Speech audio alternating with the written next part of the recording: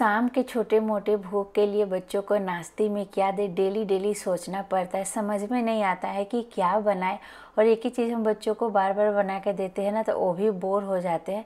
तो आज हम, मैं आप लोगों के साथ शेयर करूँगी बहुत ही इजी स्नैक्स की रेसिपी जिसको आप फटाफट बना लेते हैं।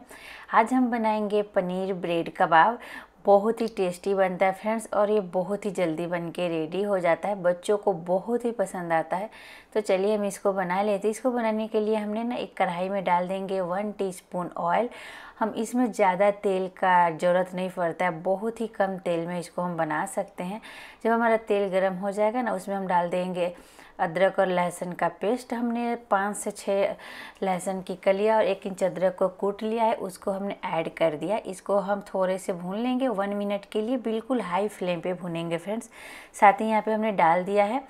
पाँच से छः हरी मिर्च को जिसको हमने बारीक काट लिया है, इसको भी हम थोड़ा देर भून लेंगे। अब इसमें हम ऐड कर देंगे प्याज और कैप्सिकम। हमने एक बड़ी साइज़ की प्याज और एक कैप्सिकम को ऐसे लंबे लंबे काट लिया है।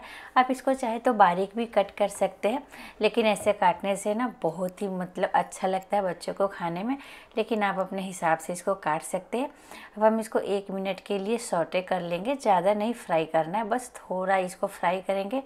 अब हम इसमें डाल देंगे पनीर। यहाँ पे हमने 200 ग्राम पनीर को भी ना लंबे लंबे टुकड़ों में कट कर लिया है। इसको भी हम थोड़ा सा मिक्स कर देते हैं। अब इसमें हम डाल देंगे कुछ मसाले। बहुत ही कम मसाला पड़ता है। इसमें डाल देंगे स्वाद अनुसार नमक। साथ ही जाएगा हाफ़ टी स्पून हल्दी पाउडर, हाफ़ टी स्पून लाल मिर्च पाउडर। और डाल देंगे हाफ़ टी स्पून जीरा पाउडर, सॉरी, धनिया पाउडर और हाफ़ टी स्पून यहाँ पर हम डाल देंगे गरम मसाला।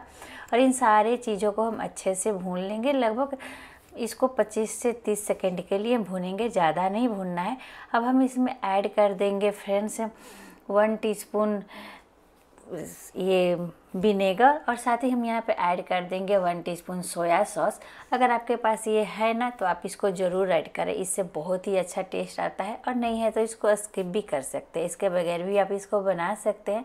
इसको हम भून लेते हैं हाई फ्लेम पे थोड़ा देर के लिए और फिर हम अपने गैस के फ्लेम को बंद कर देंगे और इसको ठंडा होने देंगे।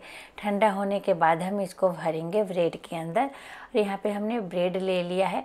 अब हम क्या करेंगे ना, यहाँ पर हमने नौ पीस ब्रेड लिया है। आपको जितना बनाना है ना, आप उतना ब्रेड ले सकते हैं। और यहाँ पे हमने पानी गर्म होने के लिए रख दिया था। इसके अंदर हम डाल देंगे एक स्टैंड अब इसमें हम एक जाली जैसे एक ये प्लेट है ना, उसको अंदर में लगा देंगे।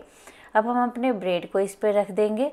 और बस पाँच से दस सेकेंड के लिए हम इसको ना थोड़ा सा मतलब पका लेंगे भाप से ताकि ये बहुत ही सॉफ्ट हो जाए। देखिए, अब हम इसको पलट लेते हैं। बहुत ही गर्म है फ्रेंड्स, हमसे गलती हो गया। आप ना कोई भी वो चिमटा होता है ना, उससे पलटे। देखिए, बाद में हमने चिमटा का यूज़ किया, जब बहुत ज़्यादा गर्म हमको लगने लगा तो। अब हम क्या करेंगे, इसी तरीक़ा से ना सारे ब्रेड को सेक लेंगे। इससे ना ब्रेड देखिए, बहुत ही मुलायम हो जाता है फ्रेंड्स। अब हम क्या करेंगे ना फ्रेंड्स इसके जो चारों किनारों का ब्राउन वाला हिस्सा है ना, इसको कट करके निकाल देंगे। हम ये ब्राउन वाले को ना फेंकेंगे नहीं, इसका हम ब्रेड क्रम्स बना के रख देंगे। जब हम किसी भी पकौड़ा वकौड़ा बनाएँगे ना, तब हम इसका यूज़ कर लेंगे। इसको देखिए, सब किनारे को कट करने के बाद ना, अब हम क्या करेंगे, इसको थोड़ा सा बेल लेंगे। बहुत ही आसानी से बेल जाता है फ्रेंड्स, क्योंकि हमने इसको भाप में थोड़ा सा पकाया है ना तो ये बहुत ही सॉफ्ट है तो बिल जाता है। अब हम इसमें डाल देंगे जो पनीर वो मसाला बना के रखे थे ना, इसको दो चम्मच हमने यहाँ पर ऐड किया है, और इसको हम रोल बना लेंगे। देखिए, कितना आसानी से बन जाता है। इसको ऐसे थोड़े थोड़े राउंड करके लाएँगे और इसको थोड़ा ऐसे करके दबा देंगे। अच्छे से चिपक भी जाता है, बिल्कुल नहीं खुलेगा इसका मुँह, देखिए।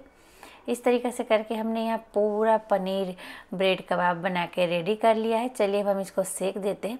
इसको सेकने के लिए ना सबसे पहले हमने यहाँ पे दो अंडे ले लिए हैं। अब इसमें हम डाल देंगे स्वाद अनुसार नमक और हाफ़ टी स्पून काली मिर्च हमने यहाँ पे डाला है। आप चाहे तो यहाँ पे लाल मिर्च भी डाल सकते हैं, लेकिन ज़्यादा तीखा हो जाने से ना बच्चे खाना पसंद नहीं करते हैं। अब हम इसको क्या करेंगे? अच्छे से मिक्स कर लेंगे। बहुत ही अच्छा से हमको इसको मिक्स करना है फ्रेंड्स अब हम क्या करेंगे? एक नॉन स्टिक तवा ले लिया है।